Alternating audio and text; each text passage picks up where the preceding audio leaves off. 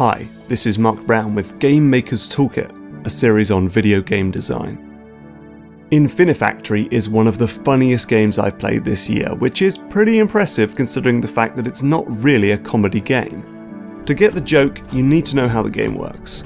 In each level, you must fabricate some complicated structure, like this 5 piece cross thing, by building a production line that transports and manipulates blocks that plop out of a hole in the wall. You build your machine with chunky cubic blocks like conveyor belts, pushers, optical sensors, rotators, and welders. After spending an hour carefully building a machine to forge that 5 piece cross, I finally got it to work. But Infinifactory wants you to make 10 perfect copies of the structure to prove that your machine is actually a functioning production line. So I let the machine run a few more times, confident that it would spit out 9 more perfect crosses. And then this happened.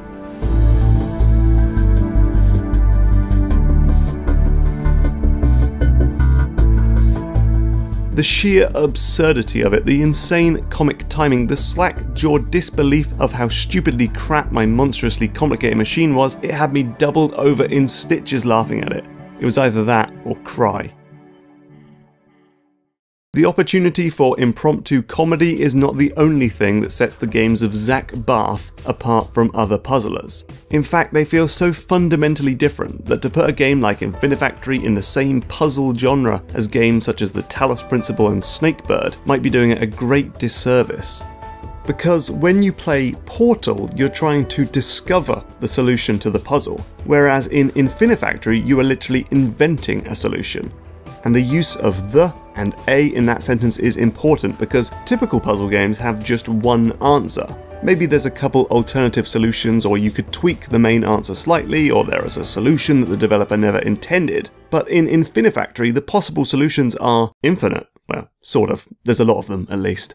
Which is shown very clearly in these end of level histograms that show how efficient your solution is compared to every other player on Steam in both your use of time and space. That also sets Barth's games apart from other puzzlers. It's practically pointless to play the same puzzle twice in The Swapper, but it's genuinely enjoyable to return to a completed Infinifactory puzzle and try to make your solution more productive. So maybe we should stop saying these games are about solving puzzles and say they're actually about solving problems. These are games where you have a goal, some materials, a limited workspace, and some tools. Your job is to reach that goal in any way you can. That is why these games feel less like unravelling contrived riddles, and more like solving real world problems. Like making production lines in Infinifactory, plotting efficient train lines in Mini Metro, making spaceships in Kerbal Space Program, or writing code in SpaceChem. Yeah, SpaceChem has actually got way more to do with coding than chemistry, right down to the logic gates and subroutines and debugging. And that's cool for two reasons. One, programming is basically the best puzzle game in the world because it's truly open ended and it's wonderfully satisfying to dream up, jot down, iterate upon, and execute some totally unique solution to the overwhelmingly complex problem at hand. And two, it means that the game and those like it can be truly educational without being educational games. SpaceChem was actually used in a few schools in the UK, according to the trade association TIGA. Similarly, Minecraft's Redstone, a mineral that lets players wire up mechanized contraptions, is introducing tons of players to simple coding. Or, not so simple, Minecrafters have used Redstone to make a calculator, a GPU that can draw shapes, and an 8 track sequencer that can belt out Pachelbel's Canon in D.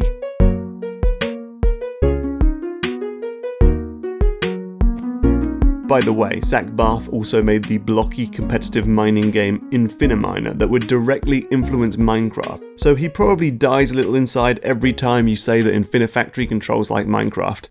Just a heads up.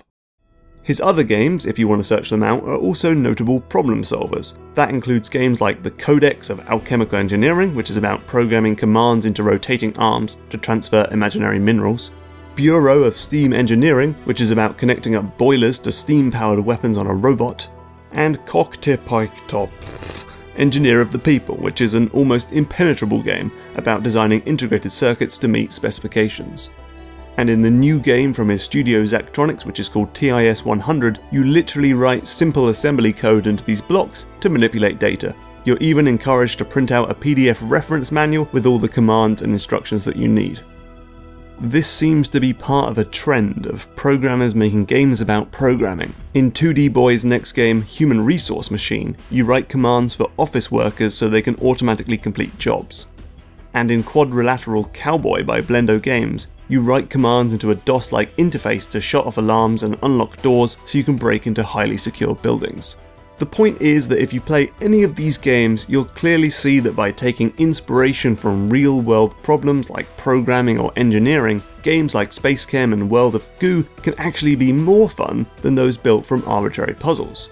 You get the satisfaction of making something work and the comedy of making something that doesn't, the same problems can be played multiple times as you try to make a more efficient solution, and it might be easier to make the levels themselves. In a post-mortem on SpaceChem, Barth revealed that his puzzle creation process was essentially to throw together interesting inputs and outputs, make sure the puzzles can be solved, and then reorder all the levels based on difficulty.